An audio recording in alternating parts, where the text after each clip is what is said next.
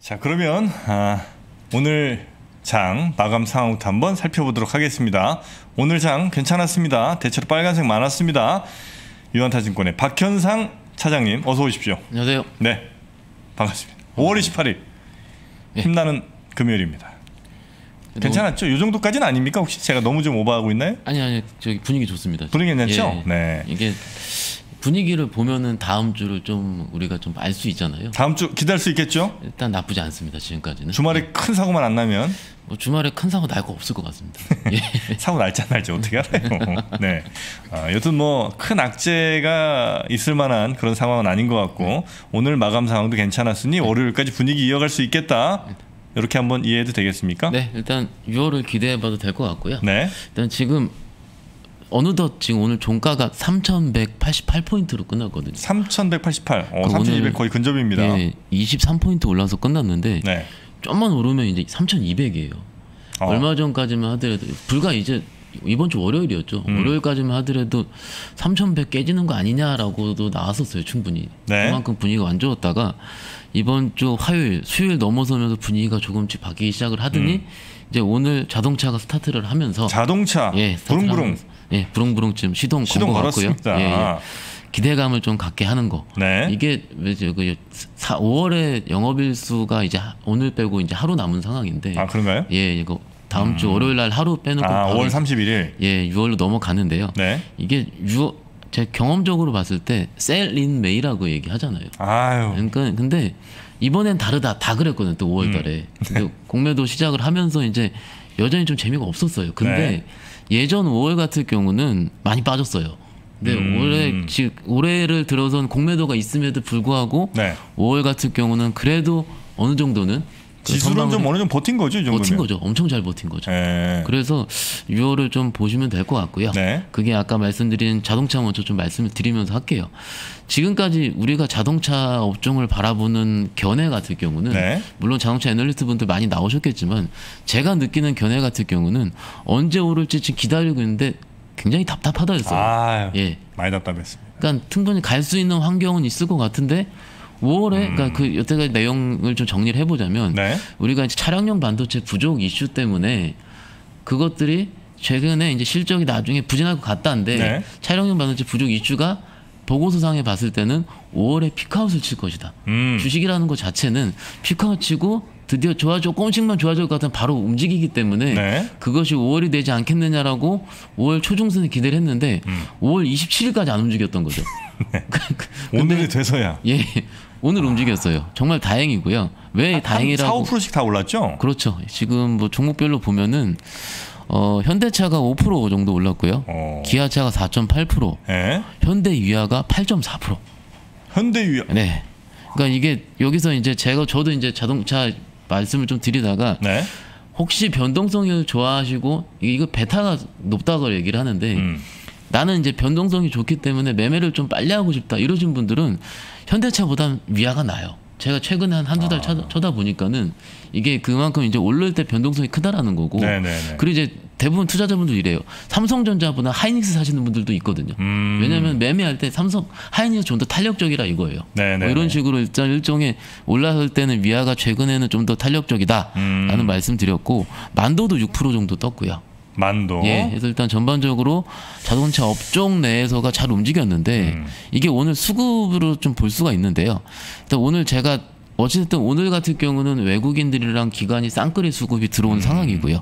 쌍끌이 수급이 들어왔을 때 금액적으로 봤을 때 거래소 내에서 그 외국인들이 1,400억 정도 매수를 한 상황이고 기관이 7,300억을 많이 매수를 했거든요. 그러니까 특별히 뭐 어제와 다른 오늘 무슨 뉴스가 있었던 것도 아니고 특별하지 않았습니다. 예. 그냥 수급에 의해서 가격이 이렇게 올랐다는 거죠. 내용을 좀 더 말씀을 드리자면은 네. 요거 말씀을 안 드렸네요. 이게 우리가 이제 중복이 딱 오르려면은 하나 정도의 트리거가 좀 필요하거든요. 음. 근데 오늘 제가 보기 여러 가지 내용이 많이 나왔는데 네. 일단 어제 밤에 있었던 일 같은 경우는 포드가 많이 올랐어요 미국에. 포드. 네, 포드가 아. 신고가가 나온 상황이고 네. 미국 저기 GM이 제너럴 모터스가 음. 차량용 반도체 부족 때문에 멈췄었던 공장을 곧 재가동한다. 음. 라는 뉴스가 어제 밤에 나왔었고 네. 이게 한국 GM 공장이 있잖아요. 두 네네. 군데 정도 있는데 5월 31일부터 기존에는 가동률이 50%였는데 음. 100%로 이제 풀가동 시키겠다. 음. 이런 뉴스는 나온 상황에서 네. 아침에 뜰 것 같다 했는데 아침에 장중에 딱 보니까는 이런 영어로 나와서 제가 잘 읽어봤는데 잘 해석이 안 돼가지고 그랬는데요. 오후에 좀 해석이 됐는데 네. TSMC가 생산 설비 가동 스케줄을 조정을 한다고 하더라고요. TSMC? 네. 대만 TSMC가 촬영용 반도체 쪽에서 MCU라 그래가지고 그쪽이 네. 반도체 쪽에서 굉장히 그 미세한 공정 그 컨트롤을 할 수 있는 부분이라 하는데 네. 그쪽을 전례는 전례 없는 조치를 통해서 촬영용 반도체 부족 사태를 해결해 나서기로 하겠다라는 부분이 아. 외신 보도를 통해 나왔어요. 어쨌든 최근에 자동차 부, 자동차 주들의 어떤 횡보의 이유 같은 경우는 네. 어떤 차량은 반드시 부족이었고 음. 그것이 TSMC가 뭐 해결을 할 수 있을 것 같다라는 좀 기대감이 음. 장중에 나오면서 그것들이 자동차 반, 자동차 주식들이 강하게 오르는 걸로 일단은 화답했다 보시면 될것 아, 같고 음. 이제 다시 생산을 좀 재개할 수 있겠다. 그러니까 이게 저는 피크아웃이 이제 된 것 같아요. 그래서 음. 이제 다행 다행 다음 주도 좀 이어졌으면 좋을 것 같은데 네. 일단 요 항상 아시다시피 이런 기대감이 형성이 되면은 음. 안 하겠다 이런 뉴스 나, 나오지 않는 이상에는 꺾이진 않거든요. 네네. 그래서 좀 기조적으로 좀 이루어지지 않을까 생각을 하고요. 음. 아까 제가 거래소 전체에서 그 외국인이 매수를 했다고 말씀을 드렸는데 네. 외국인이 1,400억 정도를 매수를 했는데요. 전체에서요? 네, 전체에서. 그럼 많이 산 건 아니거든요. 그러네요. 근데 현대차를 2,100억을 샀고요. 아. 기아차, 기아죠. 기아차가 아니고 기아가 1,700억 정도 매수한 상황이에요. 오, 딴걸 좀 팔았나 보네요. 그렇죠. 뭐 오늘 좀 카카오를 외국인들이 좀 많이 팔았고요. 음. 포스코도 좀 팔았던 상황이고 그리고 기관들 매수 종목 같은 경우는 삼성전자가 1,500억 정도 매수를 했고 음. 역시 기아를 좀 1,000억 정도 매수한 상황이고 네네네. 그러면은 금액적으로 큰 금액을 산 종목들 중에 네. 외국인 기관 쌍끌이로 화답하는 종목은 기아차가 되겠네요. 예, 이런 식으로 좀 코, 코리아를 산 것보다는 음. 제 생각에는 외국인들은 자동차를 샀다라는 음. 게 오히려 좀 맞을 것 같아요. 네네네. 그러니까 이게 보면은 이제 업종이 빨리 순환매가 돌고 전체적 이럴 수 있거든요. 오, 예를 들어 장이 음. 한 30포인트가 떴는데 삼성전자도 크게 오르고 자동차도 크게 오르고 화학회사도 많이 오르고 이러면은 코리아 전체를 샀다고 볼 수가 있는데 음. 아. 지금 같은 경우는 수급이 일정 부분 좀 쏠려가지고 네네네. 이렇게 좀 됐기 때문에 일단 이러면 이제 또 다른 쪽으로 다음 주에 이제 반도체 오르고 음. 뭐 이런 식으로 되면 좀 어, 수급이 확산되지 않을까 분위기 좋아지지 않을까 하는데 어제부터 하이닉스가 조금씩 돌기 시작을 했거든요. 음. 하이닉스. 네네. 그래서 오늘은 그래도 크게 뭐 움직이진 않았는데 네. 그러더라도 좀 나쁘진 않았던 상황이라서 좀 다음 주를 좀 기대해 볼 수 있다. 그리고 아까 말씀드린 것 중에서 이제 종목들별로 좀 살펴드리자면은 음. 일단 오늘 LG화학도 3.6% 정도 올랐거든요. 네. 근데 수요일 날 엄청 안 좋았지 않습니까? 네네. 6% 이상 빠지고 일단 LG화학이 외국인들 좀 매수가 들어온 상황이고 음. LG화학은 특별히 특별한 뉴스는 없었어요. 그래서 이제 낙폭 과대에 따른 반등 정도로 해석이 되는 상황이고요. 네. 그리고 이제 수급 정도로 봤을 때 아까 제가 거래소 수급을 말씀드렸는데 네. 이게 코스닥 수급을 보면은요 음. 금액으로 봤을 때 어, 기관들이 에코프로 HN이라는 회사를 좀 많이 사거든요. 에코 프로 HN. HM? 네, HN이라는 회사가 뭐냐면은 네. 오늘 그러니까 우리가 기존의 에코프로 BM은 잘 알고 계시잖아요. 네. 네, 에코프로 BM이 기존의 에코프로라는 회, 아이고, 에코프로라는 회사에서 네. 분할을 한 거죠.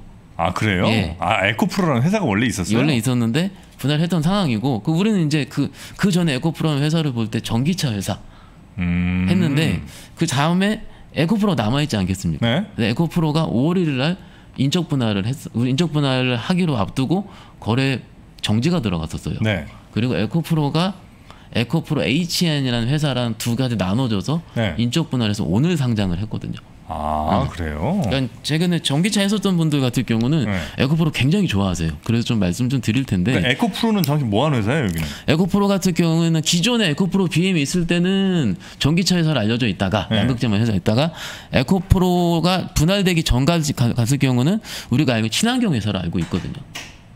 지금 어쨌든 분할이 돼서 에코프로 HN이라는 회사가 나왔고요. 네. 그 HN 회사 같은 경우는 친환경 분야에서 100% 매출이 나오는 회사인데요. 네. 온실가스 저감 장치라든지 그리고 미세먼지 저감 솔루션 네.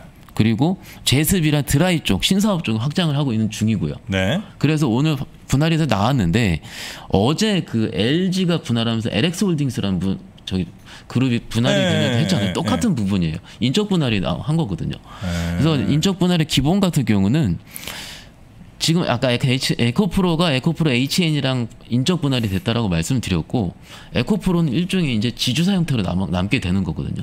음. 그러면 에코프로 BM의 전기차 지분 그 양극재 지분을 가지고 네, 있고 네, 네. 에코프로 HN의 아주 천 친환경 지분을 갖고 있게 되는 일종의 지주사 홀딩스 개념이 되는 거고 네. 왜 말씀을 드리냐면 인적 분할을 해서 재상장할 것 같을 경우에 네. 제가 항상 드, 는 질문이 뭐 팔고 뭐 사느냐예요 대부분 분들이 음.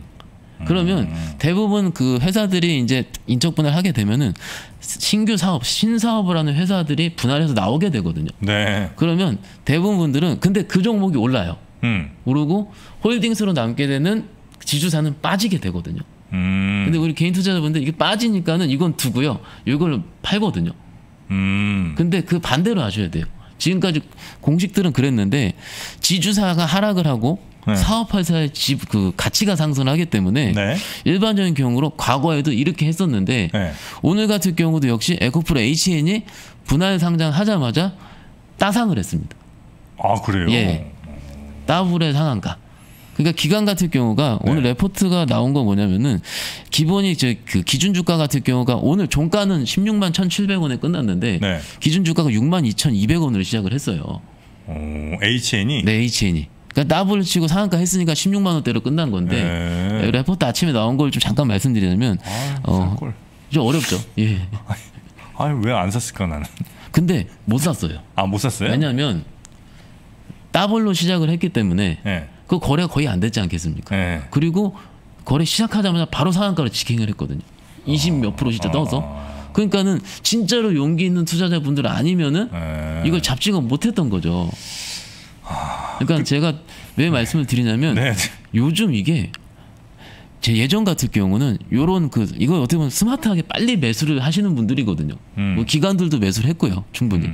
근데 제가 손이 쫓아가지 못할 정도로, 그러니까는 솔직히 우리가 주식을 하면서 한 15% 20%뜬 주식 잡기 힘들지 않겠습니까? 음. 이미 근데 더블을 떠서 시작을 했고요. 네. 그러면은 한 10%, 한 5% 언더 내로 좀 시작을 해놓으면은 어. 저는 좀 살 것 같아요. 왜냐면 지분 가치가 올라가고 있고, 네. 그러더니 목표 시총 작수 경우가 뭐 6,500억 정도 나온다 하니까는 네. 오늘 저기 종가상으로 시총이 6,100억 정도 끝났거든요. 음. 그러니까는 잡게 하는데 못 잡게 하는 거예요. 너무 빨라서. 음. 그래서 이제 이런 트렌드가 이제 지속이 되고 있으니 우리 음. 개인 투자는 빨리 좀 저도 전화해서 이거 삽시다 해야 되는데 음. 왜냐면 전화 안 받기도 하고요. 네, 네. 늦었다고 이제. 근데 에코프로라는 회사가 있고 에코프로에서 그 양극재 만든 에코프로 BM이 있어서 BM이 한참 잘 나갔고 그렇죠. 그다음에 A- 에코프로 HN이라는 회사가 오늘 이제 인적 분할하면서 상장을 했는데 그렇죠. 그 회사도 역시 이제 따상을 가면서 어마어마하게 올랐고 그렇죠. 예. 근데 보통 이제 이런 사업 회사가 있고 지주 회사가 있을 때는 사람들은 보통 지주 회사보다 사업 회사를 더 좋아하는데 맞나요? 대부분 그러니까 일반적으로 제가 통화했었던 분들 같은 경우는 이게 네. 가격만 보니까는 네. 가격만 보니까 이건 떨어졌고 이건 올랐으니까는 아 오히려 오히려 이제 오른 거를 팔고 떨어진 걸 이거 올라가지 않기는 기다리시는데 아 근데 오히려 오른 걸 사야 된다는 그 거죠? 오른 게 더 빨리 가거든요. 아, 그러니까 음. 근데 여태까지 그런 공식이었는데 뜨자마자 바로 상한가로 직행을 해버리니까 아. 요걸 사야 되는 못 잡는 거예요. 너무 빨라서 그렇죠. 몇번 안 걸렸습니다. 상한가 치는데. 아 그래요? 예. 그래서 조금 그게 안타까운 상황이고요. 아. 예. 어쨌든 요런 부분이 좀 있었었고 네. 자동차 올랐고요. 요렇게 자동차 부- 그 혹시 네네. 오늘 이제 올랐잖아요 6% 네네. 5% 6% 이렇게 올랐을 텐데 그동안 이제 한참 그 그냥 쭉 기지 않았습니까? 네네. 그래서 어떤 분들은 어, 자동차 괜찮을 거라는 뭐 한 2, 3월 막 이때 소식에 네네. 갔어요. 네. 들어갔단 말이죠. 네네. 근데 이제 물렸어요. 네. 뭐한 그래 많이는 아마 아니실 거고 해봐야 뭐 한 10% 안쪽이실 네네. 텐데 그렇게 이제 물리다가 오늘 거의 본전 회복했단 말이죠. 네네. 그래서 마음고생한 거 생각하면서 정리를 했을 수 있잖아요. 그렇죠. 근데 이 자동차가 이렇게 한번 분위기가 들어오면 얘는 그래도 어느 정도 좀 더 갈 가능성이 높은 친구입니까? 아니면 오늘 정리한 게 잘했던 행동으로 보십니까? 일단 저는 다음 주에 이제 현대차, 기아차가 연속성이 있다는 걸 판단하는 것보다는요. 저는 주식을 하는 데 있어서 음. 매매를 해야 될 샀다 팔았다를 해야 될 주식과 네. 보유를 해야 될 주식이 있다고 생각을 하거든요. 음. 현대 기아차로 샀다 팔았다 하면 안 돼요. 아 현대기아차는 네, 네. 아, 샀다 팔았다 주식이 아니다. 네, 그러니까 보유를 해야 될 주식이고 내 포트에 꾸준하게 보유를 해야 될 좀. 근데 물량 조절은 일부 할 수 있겠죠. 근데 음. 내가 몇 달 동안 너무 힘들었기 때문에 물론 이해합니다. 네. 얼마나 답답해요. 저도 오늘 전화 받았어요. 팔았다고. 그왜 파셨어요? 그러니까 이것만 플러스라도 팔았대요. 아, 네 보유 종목이 10개인데 그 중에 이것만 플러스 났대요 지금. 네네. 정말 제 실제로 전화를 받았습니다. 아. 예. 그래서 아 제가 안타까워했는데 음. 어찌됐든 이거는 좀 들고 가는 주식. 왜냐면 그 오늘 첫 양봉 나온 거잖아요. 좀 네. 기술적으로 좀 말씀드리는데 음. 지금 대부분 이제 그냥 기술적으로 차트적으로 봤을 때 현대차나 기아차나 이평성들이 위에서 다 모여 있었거든요. 음. 모여 있으면은 이게 저희는 이게 이불이라 그래요. 이- 뚫기가 힘들다고. 네네. 예, 그러니까 이 너무 무거운 이불을 덮고 있다 그러는데 네. 오늘 뚫었거든요 기아차는 이쁘게 뚫었어요. 아. 그러니까 뭐 월요일 날 잠깐 조정을 받을 수 있지만은 입을 걷어 찼군요. 저도 찾죠 네. 이불킥 했는데 일단 그러면은 좀 분위기상도 굉장히 좋아졌고 음. 적어도 그동안 기다렸던 것이 아쉬우 아쉬운데 음. 정말로 그 답답하고 그랬으면 이럴 때는 반 파는 거거든요 정말로. 아 반. 네, 아. 3분의 1 반 정도 팔아가 나머지는 좀 기다려보자. 아. 이런 식으로 해야지. 왜냐면 주식이 주식을 들고 있어야지 더 살 수도 있고 음. 팔 수도 있거든요. 음. 근데 아예 답답했다가 다 없애져 없애버리면은 네. 오히려 그게 또 나중에 좀 매매하는데 음. 심리적으로 부담이 될 수 있어요. 아. 음, 그 그거 뭐 말씀드릴 수 있겠고요. 아, 근데 장이 이러다 보니까 이제 저도 그렇고 아마 많은 분들이 보유 종목들이 점점 늘었을 거예요. 이 재미없는 애들 얘 팔긴 좀 아깝고. 네. 그래서 이제 또 좋다는 얘기들 이 정도 가격이면 괜찮은 것 같다. 예, 왜냐하면 이제 퍼가 전체적으로 좀 낮아졌잖아요. 그렇죠. 실적 좋아지고. 예, 예. 이게 분명히 매력적인 가격인 것 그럼요. 같다. 예, 그래서 예. 또 이것도 좀 더 사고 저것도 좀 더 사다 보니까 종목들이 이제 점점 늘어났단 말이죠. 네. 그런 경우에 하, 지금쯤 다시 좀 정리를 해야 되는 건지 아니면 지금은 종목 좀 많더라도 네. 크게 걱정 없이 가- 가도 괜찮은 분위기인지. 일단 지금 이제 장이 답답하고요. 네. 이게 우리가 알고 있는 혹은 우리 투자자분들이 익숙했었던 시가총액 상위의 대형주들이 네. 최근 두세 달 동안 의미 있는 가격이 나오지 않으면서 음. 사신 거죠 계속 음, 음. 사셨는데 사시다가 멈출 수도 있고 네. 혹은 이게 답답한 거예요 이만큼이 음. 답답해서 움직이는 다른 종목들을 사시는 거예요 네. 그러니까는 어느 분들은 제가 저번 저저번 주에 상담하니까 30 종목이에요 종목이 종목이 그 네. 제가 여쭤봤어요 무슨 펀드 갖고 계시냐고 매, 저 매니저이시냐고 제가 30종목 왜 갖고 계시냐? 50 종목도 봤습니다 제가 50종. 예 네. 그러니까 사다 보면 그렇게 됐다고 하시더라고요 네. 근데 이게 솔직히 정답은 없을 겁니다 음. 왜냐하면 그렇게 많은 종목을 매매하는 펀드들이 다 대부분 그러니까는 음. 근데 저는 개인 투자자 입장에서 봤을 때는 우리 개인 투자자분들의 강점은 뭐냐면요 음. 펀드 아니 저희 펀드가 종목 rebalancing을 내 마음대로 할 수 있다는 거거든요. 무슨 얘기냐면 펀드 같은 경우에는 막 손절치면 막 보고하고 막 그래 그럴 거예요. 네. 그리고 종, 사는 종목들 같은 경우도 음. universe 안에서 사야 되거든요. 음. 근데 우리는 다 살 수 있잖아요. 2,300개 그렇죠, 중에 그렇죠, 고르면 네. 되잖아요. 그래서 그만큼 우리는 자유롭게 매매를 할 수 있다는 강점이 있어요. 음흠. 그리고 그렇기 때문에 수익률 자체가 일반 그 큰 그 금액을 매매하는 펀드들보다 네. 더 빠르게 날 수가 있다는 장점이 있습니다. 그 개인 투자자의 진짜 큰 장점이에요. 아. 근데 네. 빠르게 수익이 날려면은요 음. 종목이 압축되어 있어야 돼요. 그러니까 압축이 되어 있어야 네 된다. 왜냐하면은 지금 우리가 이제 예를 들어서 시총 상위주 종목 빼더라도 음. 업종 대표주가 있지 않습니까? 네. IT에선 삼성전자, 음. 2차 전지에선 뭐 LG화학 뭐 이런 식으로 그럼 적어도 그 정도의 섹터를 나누셨을 거 아닙니까? 네. 근데 그 섹터 나누다가 한쪽이 좀 약해져요. 음. 그러면 그쪽 같은 경우는 차라리 변동성이 큰 종목으로 좀 넣을 수도 있는 거고요. 근데 지금 장이 워낙 답답해하고 하다가 여러분들이 어 이거 빨리 빨갛게 움직이는 종목들을 넣다 보니까 20개가 된 거예요. 음. 그러니까 이게 지금 그래서 제가 들은 그 내용의 핵심은 뭐냐면은 음.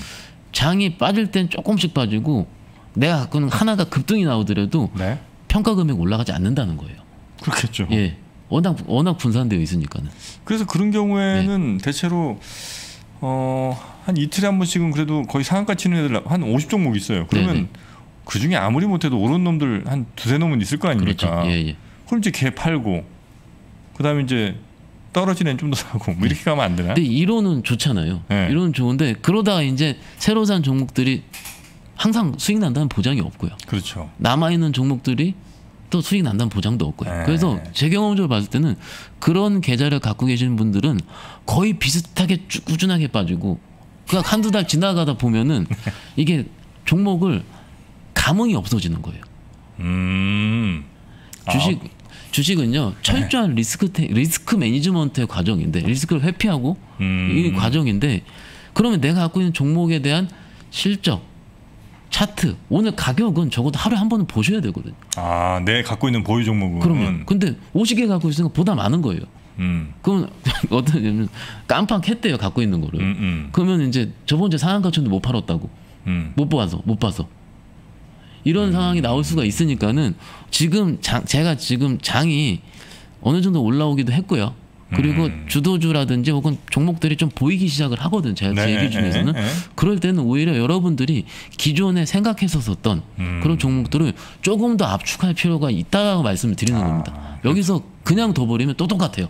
3,300 가더라도 평가음에 또 비슷합니다. 음. 3,100 가면은 더 많이 깨지고 또 네, 네. 그렇기 네, 네. 때문에 요 시점에서는 그 말씀을 드리고 한 말씀 더 드리자면은 네. 이게 현금도 하나의 종목이거든요. 현금도 네. 음. 정말로 맘 편한 종목. 삼성전자보다 더 편한 종목입니다. 현금은. 떨어질 일은 없으니까. 예. 그래서 이제 대부분 이제 장이 많이 깨지면은 뭐 방송에서 그러잖아요. 현금을 만들어야 될 때라고. 그러면은 음. 대부분 분들이 다 떨어졌는데 뭐 현금 만들라는 이렇게 얘기를 하시잖아요. 네. 그래서 오히려 지금 올라오고 있는 중이잖아요. 네. 올라오고 있을 때 좀 내가 좀 평소에 이건 안 갈 것 같았는데 그때 실수했었던 종목들이 있거든요. 많으신 분들은. 음. 그러면 이럴 때 조금씩 비중을 줄여가지고 현금을 만들어 놓는 거예요. 네, 네. 나중에 내가 진짜로 좋은 종목을 살 수 있게. 음. 음, 이런 식으로 좀 약간의 매매하실 때 유연성을 갖는다면은 오히려 다시 3,300 가면은 음. 계좌가 살주지 않을까 이렇게 생각하고 있습니다. 예. 시장 안 좋을 때 정말 꼭 필요한 종목을 살 수 있게 투자하는 게 바로 현금. 그렇죠. 예, 현금으로 투자할 필요도 좀 있다. 아, 그 말씀을 좀 주셨습니다. 아, 이제 현금이 제가 그게 좀 뼈아픈 얘기입니다. 항상 저는 이제 100%풀 매수 상태거든요. 아. 상태였거든요. 전 지금 존경합니다. 100%는요, 진짜. 아 그렇습니까? 예. 항상 풀이에요 저는. 어, 이 통장에 어, 예금 통장에 돈이 있는 꼴을 못 봤었어요. 근데 이제는 그렇게 하지 않습니다. 예, 이제 저도 현금을 약간 좀 갖고 있으면서 정말 좋은데 가격이 확 떨어진 그런 종목이 있다면 한번 저 들어가 보도록 하겠습니다. 아 어떻게 금요일전이 요 정도 될까요? 아니면 예, 요 정도 말씀 이 정도만 할까요? 예, 예. 알겠습니다. 자 오늘 아, 유한타증권의 부천 지점 우리 박현상 차장님과 함께 오늘 장 정리 한번 좀 해봤습니다. 아, 확실히 여러분 실전에 좀 도움이 좀 되시죠? 우리 박현상 차장님의 이 실전 도움 방송 아, 오늘도 잘 마무리했고요. 아, 부천 아 이제 올 대근 참 저 청라 쪽이시죠? 네, 청라에 있습니다. 예. 조심히 들어가시고 아, 다음 주에 뵙겠습니다. 네, 감사합니다. 고맙습니다. 네, 저희는 이제 하나금융투자 윤재성 연구위원과 함께 석유화학 업종 아, 본격적으로 뒤에 파보겠습니다. 매달 월급처럼 따박따박 배당을 받는 ETF 그리고 1년 사이에 10배가 오른 테슬라 미국 시장에 상장을 준비하는 쿠팡까지 소식은 많이 들리지만 미국 주식 투자를 시작하기에 아직은 어색하신가요? 포스트 코로나 시대에 방황하는 20대부터 본업에서도 투자에서도 성과를 내고 싶은 30대 노후를 준비하는 40대 50대까지 미국 주식의 세계에 입문하신 분들을 위해서 3프로TV가 준비했습니다. 3프로TV 주식대학 봄학기. 미국 주식에 미치다 장우석과 이항영의 미국 주식 완전 정복. 미국 시장의 제도, 특징, 세금부터 기업의 가치 분석, 포트폴리오, 유망 종목까지. 장우석 본부장, 이항영 대표와 함께 한 발자국씩 나아가면서 평생 투자의 기초를 탄탄하게 다지는 시간이 될 겁니다. 3프로TV가 미주미 미국 주식 완전 정보 클래스와 함께 여러분의 성공 투자를 응원합니다. 영상 아래 링크를 통해서 강의를 신청하실 수 있습니다.